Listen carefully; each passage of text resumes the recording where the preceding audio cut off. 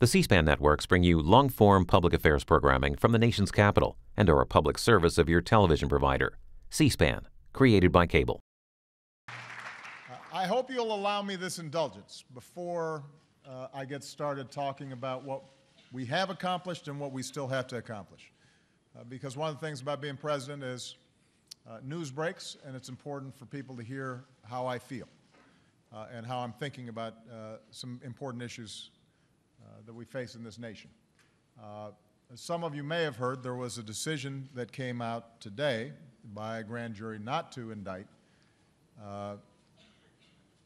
police officers who had uh, interacted with an individual named Eric Garner in New York City, uh, all of which was caught on videotape uh, and speaks to the larger issues that we've been talking about now for the last week, the last month, the last year, and sadly, for decades.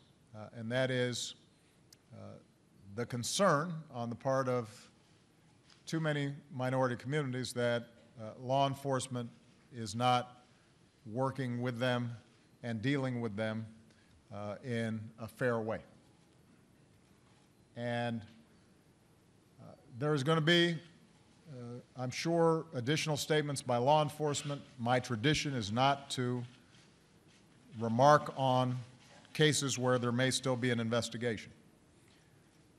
But I want everybody to understand that this week, in the wake of Ferguson, we initiated a task force whose job it is to come back to me with specific recommendations about how we strengthen the relationship between law enforcement and communities of color and minority communities that feel that uh, bias is taking place, that we are going to take specific steps to improve the training and the work with state and local governments when it comes to policing in communities of color.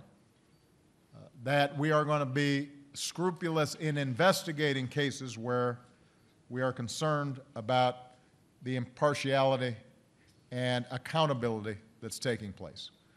Uh, and as I said, when I met with uh, folks both from Ferguson and law enforcement and clergy and uh, civil rights activists, I said, this is an issue that we've been dealing with for too long, and it's time for us to make more progress than we've made.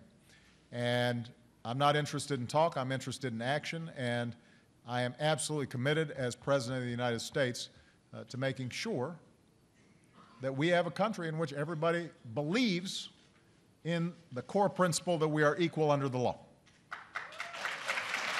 So, So I've, uh, I just got off the phone with my uh, Attorney General Eric Holder. He will have more specific comments about the case in New York.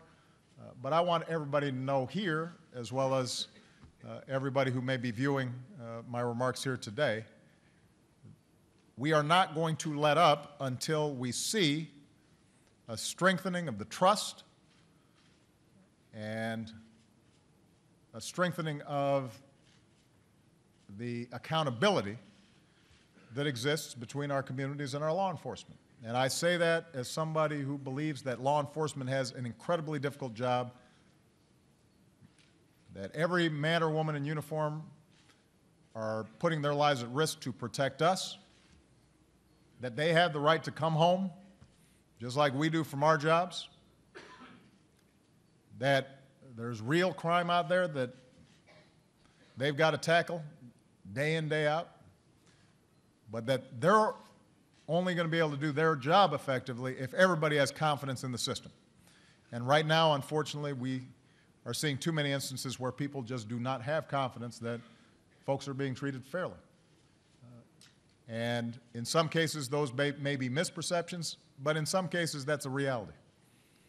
Uh, and it is incumbent upon all of us as Americans, regardless of race, region, faith that we recognize this is an American problem and not just a black problem or a brown problem or a Native American problem. This is an American problem. When anybody in this country is not being treated equally under the law, that's a problem.